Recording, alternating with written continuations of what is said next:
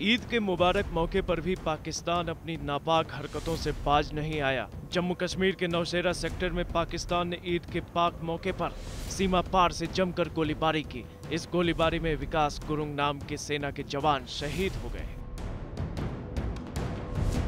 देश भर में आज ईद का पवित्र त्योहार मनाया जा रहा है। पीएम मोदी ने ट्वीट कर लोगों को बधाई दी। ईद पहले शुक्रवार के दिन मनाई जानी थी। लेकिन शुक्रवार को चाँद का दीदार नहीं होने के चलते ये शनिवार को मनाई जा रही है। दिल्ली एनसीआर की हवा चौथे दिन भी जहरीली बनी हुई है। फ़िलहाल हवा की गुणवत्ता में थोड़ा सुधार दर्ज किया गया है। दिल्ली हाईकोर्ट की फटकार के बाद तीनों एमसीडी ने बड़े दर्जे पर दिल्ली में पानी का छिड़काव किया।